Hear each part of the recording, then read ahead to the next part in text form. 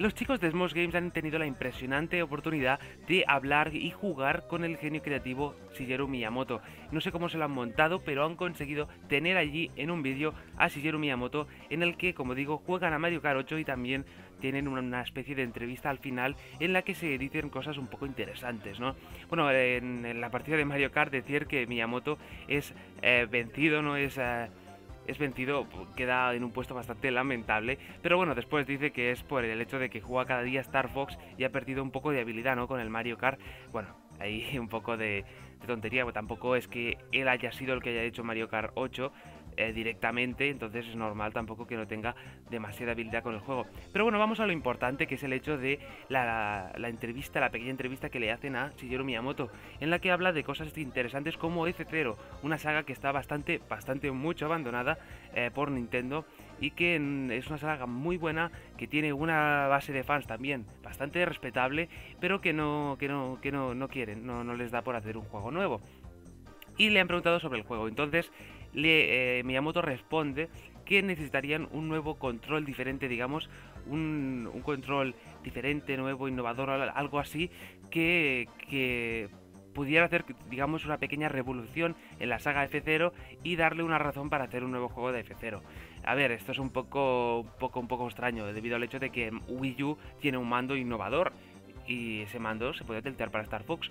Quizás sea simplemente una pequeña pista de Miyamoto para decirnos que están desarrollando un Star Fox, o quizás simplemente sea que tengamos que esperar a una nueva generación, a una supuesta nueva generación, a una sucesora de Wii U que tenga un control innovador y que y que bueno les anime a hacer un nuevo F0 realmente es una saga genial que tendría que volver por todo lo alto y bueno esperemos quizá eh, recemos o o soñemos un poco en el que, pueda llegar para Wii en un futuro o algo así, quizá el año siguiente o algo así. Pero bueno, esto es eh, un sueño, ¿no? Y soñar es gratis, así que tampoco eh, no pasa nada. Y también tenemos que nos habla un poquillo de, bueno, sobre todo también de, juegos futuros. Ese Splatoon, ese Splatoon que llevaba incluso la camiseta de Splatoon. Splatoon nos habla también bastante debido al hecho de que, bueno, es una de las grandes bazas de Nintendo para el año que viene. Y dice que el equipo de desarrollo que se encarga de hacer Splatoon es un equipo de los más novatos, digamos, ¿no? Del, de Nintendo. Y mm, y que cuando empezaron a hacer el proyecto no se pensaba que llegarían tan lejos. Incluso ahora les, les está eh, les tenía que decir así un poco en broma, dice Miyamoto, que, que paren el carro, ¿no? Que, que se frenen porque están haciendo allí el juego bastante eh, bastante grande, ¿no? Un proyecto bastante ambicioso al final. Bueno, Splatoon es el juego ese con las batallas multijugador y también ese modo historia bastante interesante que a ver cómo acaba todo esto porque como dice Miyamoto es el equipo más, eh, digamos, novato en Nintendo. Entonces es algo que, bueno, es la prueba de fuego que tienen para ver si se merecen estar en una compañía tan, tan grande como Nintendo. También habla un poco de, como digo, de nuevos juegos para el año que viene. Eh, bueno, juegos que se vienen, como puede ser el, eh, Mario Maker, en el que puedes hacer los propios niveles de Mario y tal, y que se podrán compartir online, es algo bastante interesante. El problema es que existe en PC desde hace mucho tiempo algo parecido. Pero bueno, tendremos allí el juego en sí, que también es algo, como digo, bastante interesante. Y también habla eh, del nuevo Yoshi's Bully Wall, ese juego de Yoshi, así mm, hecho como si fuera todo como de lana, ¿no? Es algo también, eh, un juego interesante que llegará el año que viene y que a ver si es un poco más difícil que el, que el anterior para 3DS, porque ese era un poco... Bueno, un poco no, era muy fácil realmente.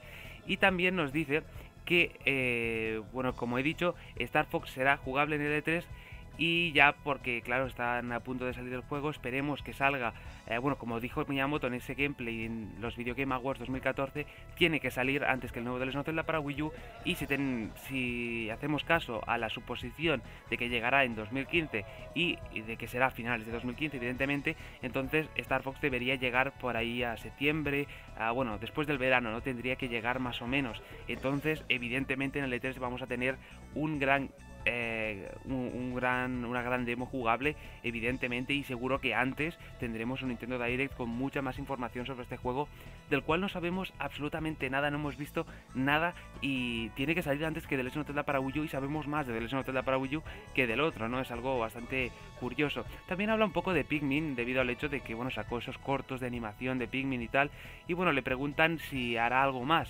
algo más sobre, sobre, sobre Pikmin bueno, él responde que mm, debía, creía que sería una buena idea hacer esos cortos debido al hecho de que, bueno, quería mostrar un poco los Pikmin individualmente y no al, al astronauta y tal como en los juegos, ¿no? Sino más bien el mundo pequeñito y, y, simple de los Pikmins. Bueno, es algo es algo que, que, bueno, es normal, ¿no? El hecho de mostrar a los Pikmins, como ya había esa función tan curiosa en, en Wii U en el que podíamos coger el gamepad y ver la vista de un Pikmin, ¿no? Algo bastante curioso.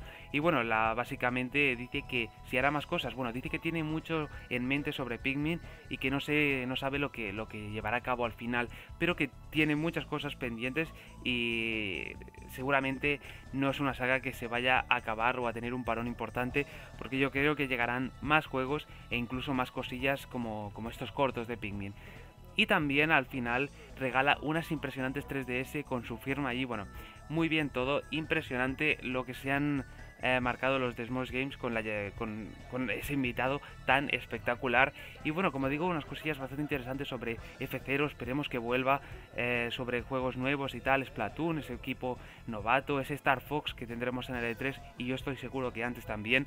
Y bueno, muchísimas cosas súper interesantes que siempre nos brinda este, eh, este Shigeru Miyamoto.